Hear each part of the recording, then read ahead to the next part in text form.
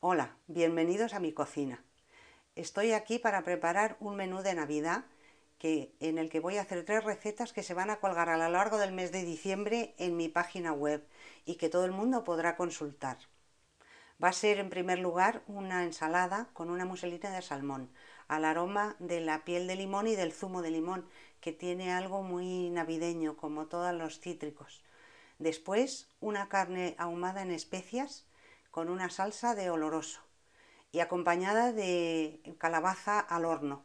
Y para terminar, un tronco de Navidad de mandarina, que también es otra de las grandes frutas de, de esta época del año, del fin del año, no solo de Navidad, sino también del fin del año. Puede que estos platos parezcan complicados, pero en realidad son sencillos de hacer y los ingredientes se encuentran en cualquier mercado de la esquina de cualquier ciudad. No tienen mucho más problema. Yo os invito a mm, guisar conmigo este menú navideño con el que vais a quedar muy bien.